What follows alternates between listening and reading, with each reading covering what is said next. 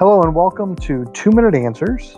My name is Kris McAloon, and I am the Assistant Director for Instructional Technology for Lawrence Township Schools.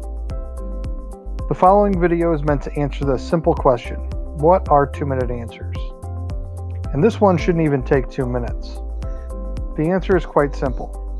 Two minute answers are meant to be two minute answers to simple questions about the curriculum work that was completed this last summer and will continue to be added to throughout the school year. This is a PLC site in Canvas.